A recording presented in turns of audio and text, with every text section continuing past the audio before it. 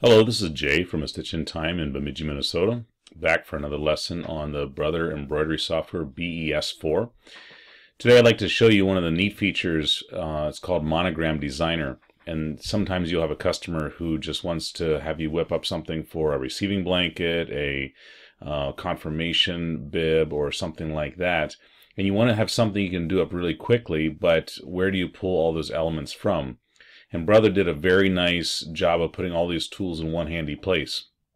Go up here to Monogram Designer, and when you click in it, it will open up a new window. And this window has several elements in it. Number one, it has your monogram, and on the left side you can see different styles of monograms so that you can use. And so you can just basically choose what's going to work for you, and there's lots of different variations in there. I'm just going to stick with a standard, uh, somewhat traditional monogram uh, for this demonstration today. So I'll click on this and it automatically updates this over here. Now we're just going to work with the letters here for a minute. On the right hand side you can see that I have text A, text B, and text C. And so you can uh, change these letters to be whatever you want.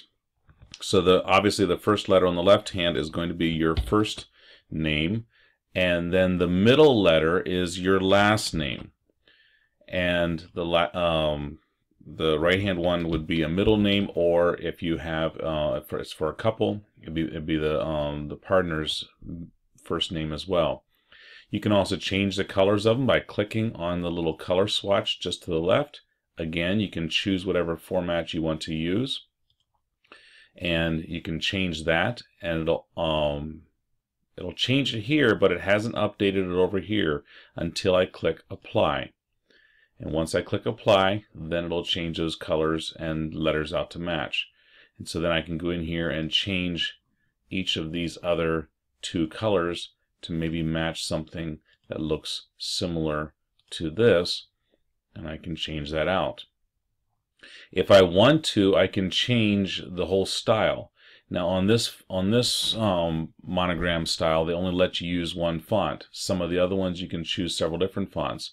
But right here again, I can click on the down arrow and I can scroll through and find one that I like, I think would look nice, and I can click apply and it will automatically put it in there. I can also uh, see what letters and numbers and punctuation are available as well. So if you're writing in you know, a different um, language that requires umlauts and that type of thing, you can um, get them, you can see what's available here in that font. I can also change the height of my font here as well. But if you notice there's these little stars and there are red lines around here, basically there's two other elements. These are uh, decors, they call them, or decorators, and they're shown because this box is checked down here. If I don't want them, I can uncheck them. I'm going to show you a little bit a little bit later. And then this is the frame. This is the outside here. All I need to do is just click on one of the items. I can click on those little stars, which are the decors, and it says, do you want to change that star to something else? And over here, and right now, see at the very top says star, there's none, so I don't want to put anything there. So maybe I don't want something there, but I would like something down here. At this point, I can scroll down here and I can pick whatever I want. I can just select something like this and it will now change it. Um, I can put something over here and that will space them out and they will evenly work together to be whatever they want. And there's just a whole host of designs in here that you can work with to add to your monograms to make them look what you want them to be. But maybe I don't want those things. I just want to have some sort of frame around it. I don't want to have any fancy stuff in it. Well, at that point, I can uncheck the decors and they disappear, except for the ones that I've already put in there. And so at that point, I can click the item and go back up here and say none, and it will disappear. I can click on there, go up here and click none, and it will disappear, and I'm back to the very beginning again. So it's a handy way of turning them on and off if you don't want them. The other thing is to click on the frame. When I click on the frame, it opens up the frame toolbox over here, and you have a host of different frames that you can use. And there are just, I don't know exactly how many there are in here, but there are just a host of them that you can play with. And there's some that are obviously more, you know, um, girly for the little princess that you have. There are some that are geared a little bit more towards the guys. Uh, I guess that's that could be either one there. Um, the little children's ones. We have bugs. Um, you have just, uh, I don't know if they have any sports or anything like that in here. But these are just to give you an idea of all the fun things you can do with it.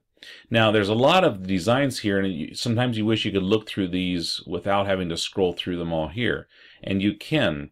If you were to go to, if you were to plug in your USB stick that BES4 came on, it would come up with, um, the, it has all these PDF files. And if you click on the designs, it will bring up, um, it will bring up all these, it'll bring up a page of all the different options and designs that come with your software. Right now there's 151 pages and these are grouped. These are the accents. Those are the little uh, things I was looking at a little bit earlier. Um, but if you scroll down here far enough, past the accents, you see the applique shapes, and then you can see the borders.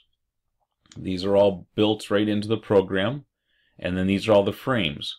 So all the frames that I was looking at, you can actually print this off or save this to your computer so you can scroll through it without having to look at them. It looks like there's 71 frames that you can do. There's different text connectors. And then there's split designs. Like I said, there's 151 pages of it. If you uh, look, watch the other lesson on working with the basic fonts, if you open up the font folder, it has the same thing as well. It has all the different fonts printed out so you can see what they all look like. Um, and again, there's 98 pages of those. So you can see very quickly um, where those are the two first files there, designs and fonts, that enable you to look through this. Well, once I pick something in here that I really like, which I don't know that I necessarily really like this, but I'm just going to pull something here um, and just go with it. And maybe I like that, but I don't necessarily care for the purple. That's okay. Once I click OK, it brings it over into the main page. And so again, I can look at the top and I can see this is basically three and an eighth inches square and there's 5,695 stitches. I can simply grab the corner and drag this and it recalculates all my stitches and it keeps all the proportions exactly the same. Now I have 6,492 and it's three and a half. When I'm dragging it, keep an eye on the bottom left hand corner here where it has my size. So if I want to make this exactly four inches, I can drag this out to uh, four inches and that's a four inches in height and then it'll automatically recalculate my stitches. But talking about the color, I don't necessarily care for this color. Now they're all selected, so I need, if you can see they're all selected because these are all blue. But I only want that to change that color, that purple one. So if I click out here on the outside, it deselects all of them. And I need to make sure that my mouse is, or that the select button is still highlighted up here and then I click on the embroidery violet color, that is the uh, Floriani, and notice that because I have Floriani palette chosen here, it automatically brings in these colors into the Floriani colors. Now it's hard to see it there. But I want to select that and and let's see, I'm just going to pull up something a little different here.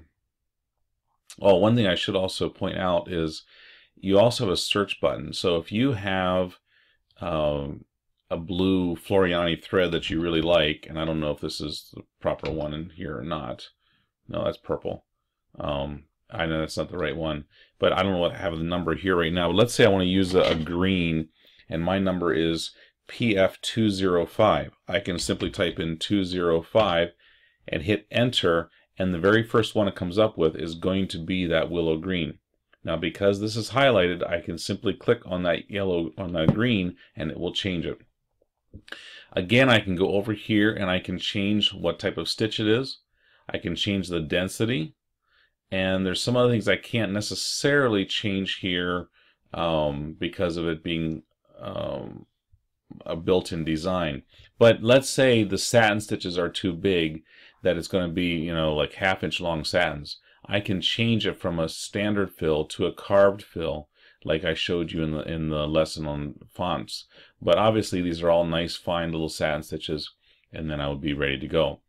If I'm ready to save this, there's you can either use the Wi-Fi system to send it to your machine if your machine is Wi-Fi enabled and um, BES4 comes with that Wi-Fi card. Please watch my other lesson on how to set that up um, so that your Dream machine and most of the new Brother machines with the adapter can use that uh, Wi-Fi card. If you want to save it for a machine that's not Wi-Fi enabled or a different brand of machine, you can click the little brother button up here in the top left hand corner and you can go to Save As.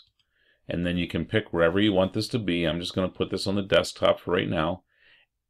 And if notice, I can save it as a paste setter outline files, which is your BRF. If I want to come back and change the font, change the, uh, the frame, or things like that later, I need to save it in the native file first, and that's the file I can tweak. But if I just want to save it to stitch out, then I can save it into any of my brother formats in Janome, Viking Pfaff, Singer, Melco, um, uh, and even some other files like ProStitcher for the Handi Quilters, for Handy Quilter customers. If you want to create this in straight run lines, you can turn send this to your um, ProStitcher and have it quilt this design out on your machine. So, same thing for the Statler Stitcher. So it's very handy. You would just pick whichever format you want, click Save, and away, away you go. Well, that's it for this lesson. Hope it was enjoyable, and we'll have more coming.